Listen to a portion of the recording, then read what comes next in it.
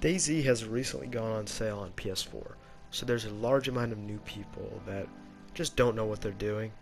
Maybe 90% of the people I meet say that they're new, and they all have a level of frustration with the game because they just don't know what to do.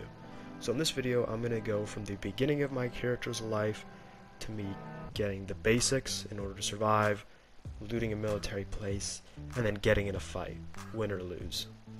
The point of this video is to give an insight into an experienced player's way of playing the game so you know what needs to be done. And this video isn't just for new people, it also can teach people who've been playing the game a couple new tricks to just survive easier.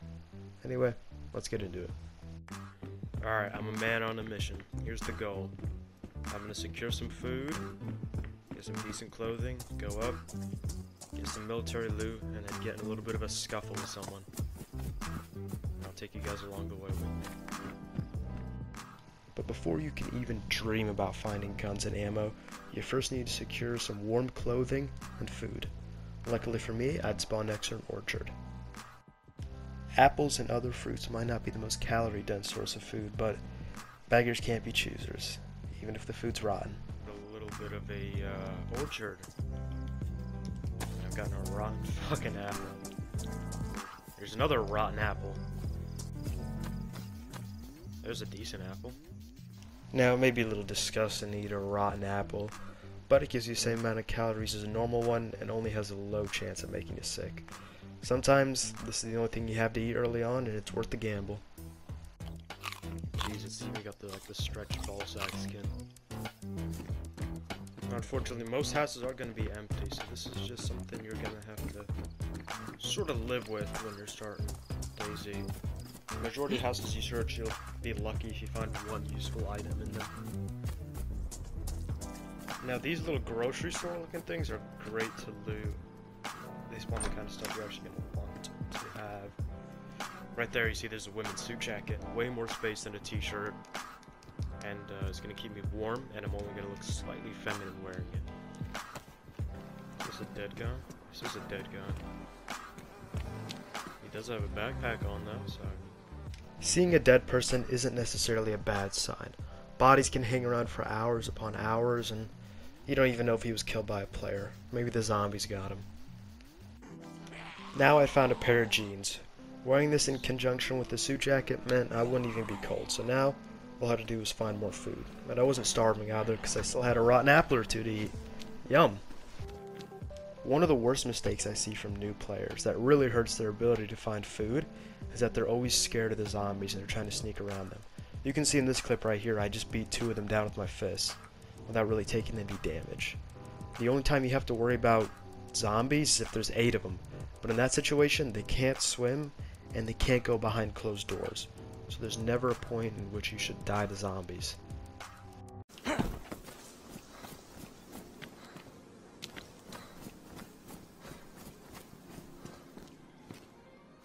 Right there. Mad Monk Kvass. So that's like a little soda right there. That'll actually get me a bit of food and a decent amount of water. So I'm gonna chug that right now. Someone looted that, but they didn't see it because they didn't check the little bins. For whoever looted that building, this soda might have been the difference between life and death. That's why you always have to search thoroughly and check every little spot. I got a cross and that's fucking And she's got a can of sardines. That right there shows why it's worth it to kill zombies. They're not tough enemies. They're in the towns. You might as well kill them while you're there. But now I gotta find something to open it up first. One of the things new players fail to realize is that your shoes break through use, and if your shoes are broken, you start to bleed just by walking. Now the game doesn't actually tell you when your shoes break, so you'll just start bleeding randomly, and depending on where you are and how many bandages you are, have, you could actually die if you're in the middle of a field. So keep in mind to maybe carry an extra pair, or at least switch your shoes out when you notice that they're getting damaged.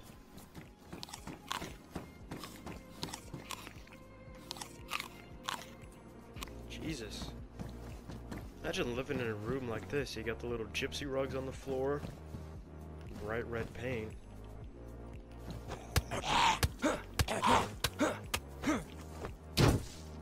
Oh, battery. Yeah, I should start eating that. Another can. Now the great thing with these, actually, I don't have any weapon. But I could bash skulls in with this, and I'm not going to be completely defenseless now. Full-size cans are actually surprisingly effective weapons. If you hit a guy in quick succession, you can knock him out, but even then it does maybe double or triple the damage your fists do. And it's an embarrassing way to go. Imagine being the guy that dies from getting his brains bashed in with a can. Oh, we got a crowbar now. After a little more searching, this was a godsend. Not only would it be a better weapon than the can because it did more damage, it was more durable, but I could actually open the two cans I now had in my inventory. The issue with this, however, is when you're using tools that aren't well designed for cutting, like a crowbar, you lose a lot of the contents in the can. So if I had to, I would open the can, but I would lose 50% along the way. If I could find something like a knife before I started starving, that'd even be better. At this stage, I had food security, meaning I would go probably an hour before I started starving, but I would have to avoid sprinting and cold weather, as both of those made you lose hunger much faster. Now I could start looking for other items that I needed, like guns. Oh, there we go. Can't, you know. This unassuming little gold tin is exactly what any survivor in Chernarus needs. The thing takes up less space, can be opened just with your hands, and is worth maybe twice as much as a can of beans. Having this one item doubled how much food I had. Basically, what I'm saying is if you haven't been picking these things up, you've been making some pretty big mistakes up to now. The next move from here was to use the water pump. Now, experienced players know where to find these in every town, but I understand that new people need help, so what you're going to want to do, if you haven't already, is download the iZurvive app, spelled I Survive, but with a Z. It's weird, whatever. It's basically how you open up a map for this game. And it shows you where the water pumps are. So the only issue is finding out which town you're in, and at that point, water is no longer an issue. One of the things in DayZ you want to do as soon as possible is move inland. There's less people there, so there's more loot. And the loot, the further north you go, the higher quality it is. I now had a decent stock of food, and my thirst was quenched. This meant it's time to get inland and actually start gearing up. Even as you continue to move inland, you should still loot houses. Because you're always going to want more food, and there's a chance of guns and ammo spawning in them. It's lower than it is up north, but there's still a chance.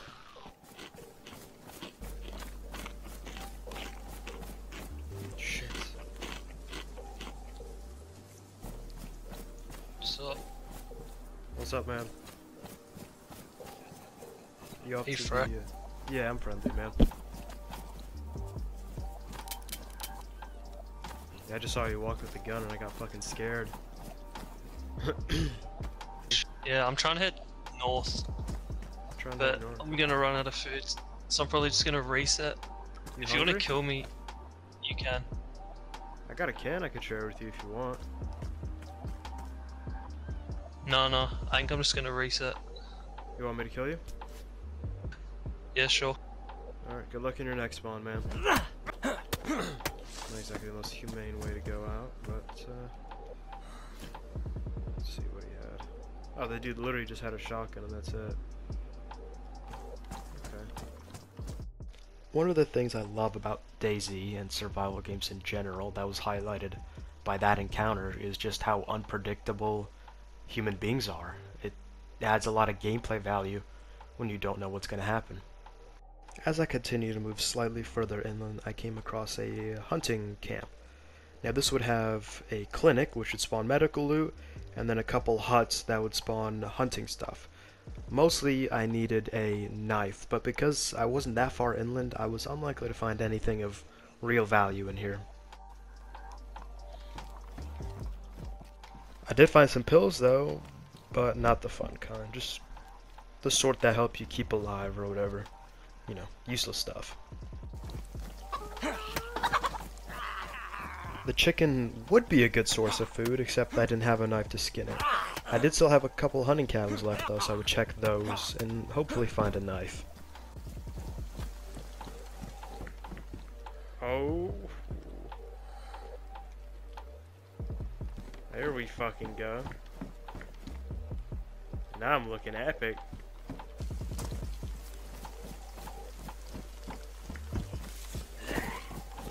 Oh shit.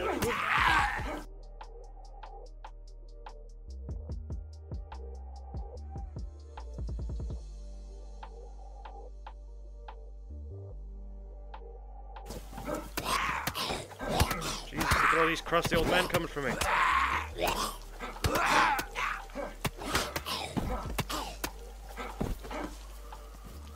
This is what I was talking about when I said zombies aren't a threat. I took just about eight of them on an open field with what, by all accounts, is a subpar weapon. A shitty little crowbar. A knife.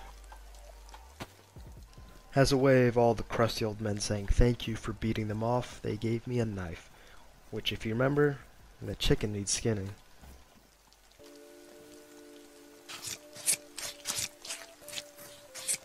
Imagine having to skin a chicken with like just looks like a damn rock. Once you skin any sort of animal, you're presented with two issues. The first is that your hands are now covered in blood. You gotta go find a source of water to clean them off. This can be done with a bottle of water, a pump, or just a stream. Luckily for me, there's one right where I killed all the zombies. Now the second is that I have to make a fire to cook the chicken, and this means using a fireplace. Luckily again, there's one nearby.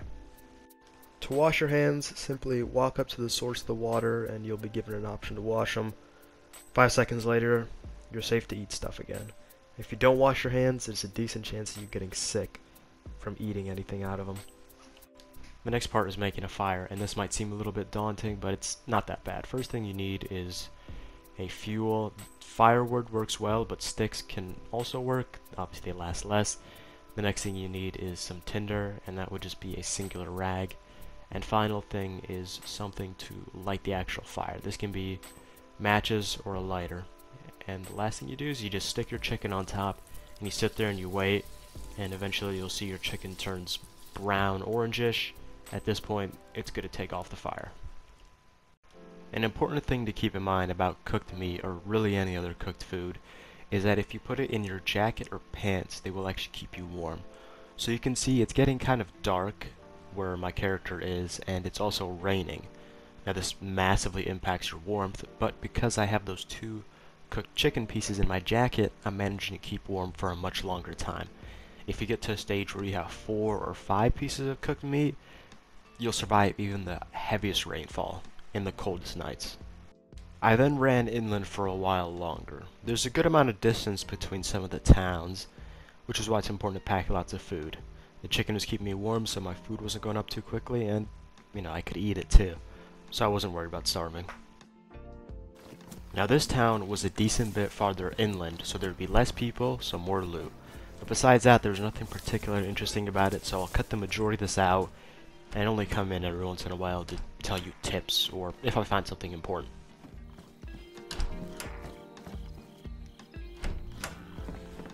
Oh, Jesus! The guts are missing. The guts and the bones are missing. Finding a corpse decently inland is a bad sign. Because there's not as many people inland, it means there's been someone around fairly recently. This yellow building up here with the circular thing on the top is a rural police department. Even if these have been looted recently, they're still worth going after because zombies with police vests can spawn, like this one right here. Now, although they're called stab vests, they actually offer more protection against bullets than stabs, 50%. But they only have 30 HP, so they'll only save you from 30 damage maximum. But that is enough to save you from a sniper shot to the chest.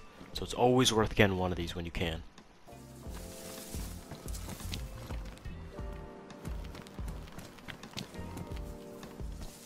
Let this be an example to you of how DayZ can just be weird sometimes. On the side of the road, I found a school backpack with a shotgun loaded into it. Uh, I already had a shotgun, but this one had two shells loaded into it already, which mine didn't. So, now I had some ammo. All because of a school backpack. Remember, this game isn't set in America either. Some strange occurrences.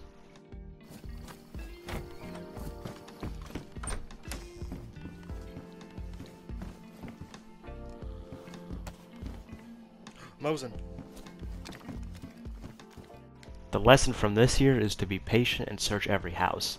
This was one of the last couple houses in the town I even had left to loot. And I found the one gun that I had a lot of ammo for, and I mean I just loved using this thing. It's iconic and one-shot 10 enemies chest and they just drop dead. At this point I was just gonna slit open my ears and listen for any shooting and just run in that direction. See what I could get up to and show you guys how PvP is played. So at this stage now, I've got lots of food. I've got armaments. And now I'm bored, so I'm just gonna go look for some people to kill.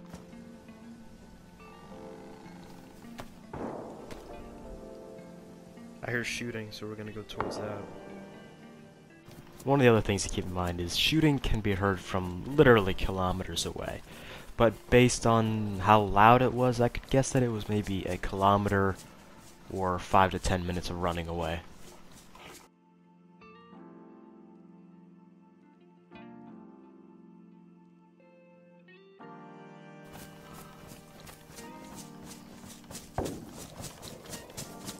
Not far.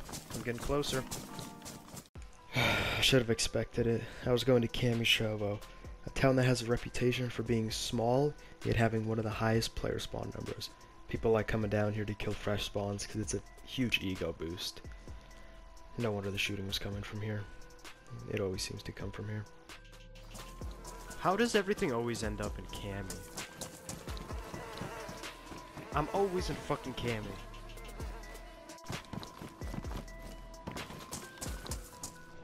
There was people up on the roof and I could instantly tell they had guns, I wanted to assume the best and wouldn't just start shooting.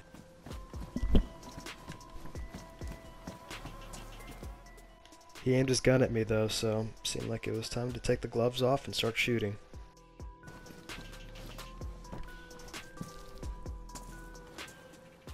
I didn't know what gun he had, but I knew he didn't have a vest. If I could pop him once in the chest, it'd be game over. I missed but heard people approaching from the side.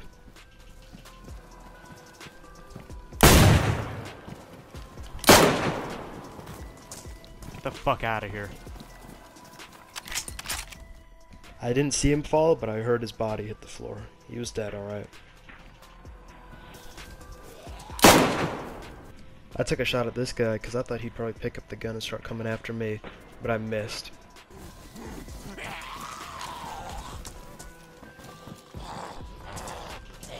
Jesus, this is laggy.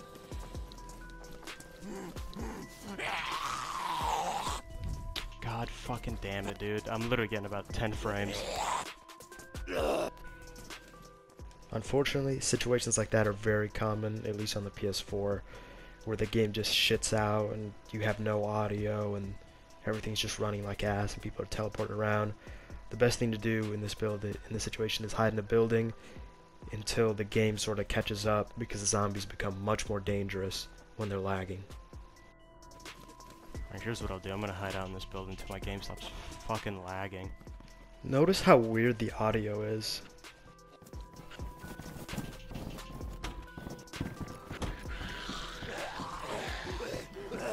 My audio's back. I killed one of them. Shooting attracts zombies, and there was, from what I could hear, maybe six or seven of them outside. And if there was a guy hunting me, I couldn't just go out and start meleeing them. So I would chill out in here until they lost aggro on me. Six shots, two shells. That's what I'm working with right here.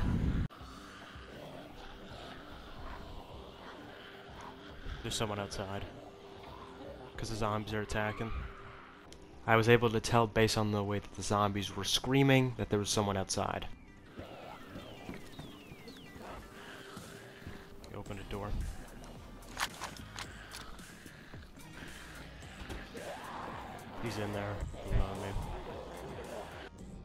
I could hear he was in there, and he knew I was up here because of all the zombies outside. Only one of us was walking outside of this house.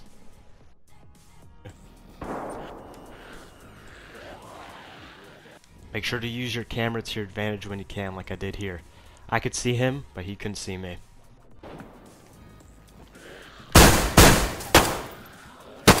Fucking uncrowd.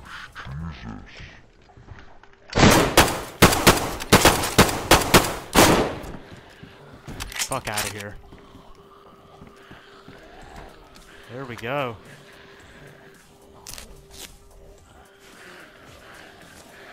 that guy was shooting at me with semi-auto. Fights in DayZ don't always come down to aim. Sometimes it's technique that wins the fight, like what I did right here. I knew that if I stood still while I chambered my next round, I was as good as dead. His gun could do a lot of damage, but it wouldn't kill me in one shot. So what I had to do was get out of his sight, chamber the next round, and shoot again. So I ran while chamber the next round, turned around, and shot him. And this is what allowed me to win the fight. I missed my first three shots on him, but because I was able to stay out of his sight line, I was able to avoid his fire. I know that for a fact if I had just stood still and chambered the next round without running, he would have clapped my ass cheeks right then and there. Another important aspect of PvP is keeping your nerves in check. I was able to do that incredibly well in this fight, and this guy just got caught up on a lot of actions. Like when I ran past him, he still continued shooting because he wasn't thinking clearly. He didn't realize that I had actually run away and didn't think to adjust his sight lines. Now this isn't something you can just learn. You have to experience PvP until you get over what's known as gear fear, which is where you're afraid of losing your shit. I wasn't afraid here, so I was able to survive. That's what allowed me to actually think ahead and run away from him as he was shooting. So the main thing is, this is actually a lot more of a mind game than you would think. Although it's fast-paced and aim will get you far, if you're not thinking ahead, you're not going to win. Anyway, I hope you guys enjoyed. Please do like and subscribe. 22 minutes. If you've made it this far, you owe me at least one like.